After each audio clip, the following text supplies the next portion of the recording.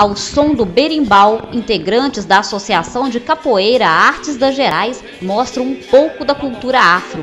A capoeira é um elemento importante para a formação integral do aluno, desenvolvendo o físico, o caráter, a personalidade e influenciando nas mudanças de comportamento.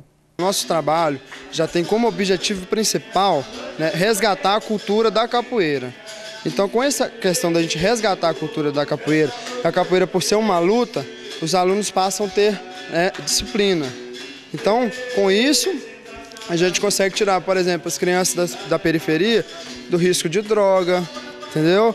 Da, da, violência. Então é para esse tipo de coisa o nosso trabalho. A Associação de Capoeira Artes das Gerais foi beneficiada com recurso anual de 60 mil reais totalizando 180 mil reais em três anos, devido a um projeto desenvolvido pela Secretaria Municipal de Cultura e aprovado pelo Ponto de Cultura da Secretaria Estadual. Este recurso será aplicado em atividades para o público, assistido pela associação. Isso para a gente é muito importante, devido ao Ponto de Cultura ser um projeto que a gente vai poder aplicar recursos nos nossos alunos. Então a gente aqui em Ponte Nova nós tam, é, temos que aplicar esse, esse, projeto em quatro bairros aqui da cidade. Bairro do Pacheco, São Geraldo, Copacabana e Santo Antônio. E com o tempo, né, com o passar do tempo, a gente vai estar distribuindo por outros bairros.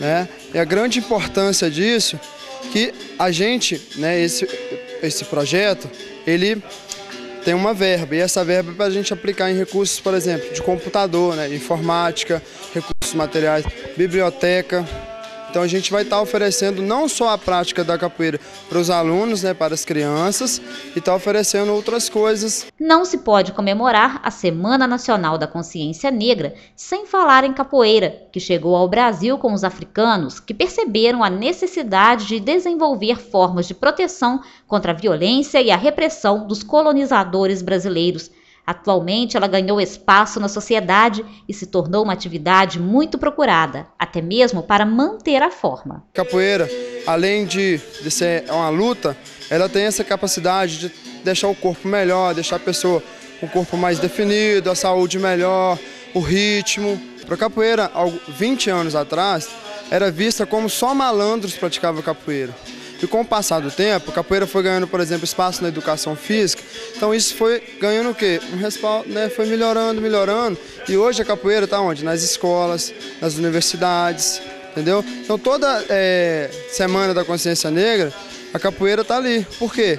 Faz parte da cultura afro-brasileira. Então a gente procura sempre estar tá apresentando, mostrando esse trabalho, mostrando o valor cultural para os nossos alunos até mesmo para a população, para os leigos.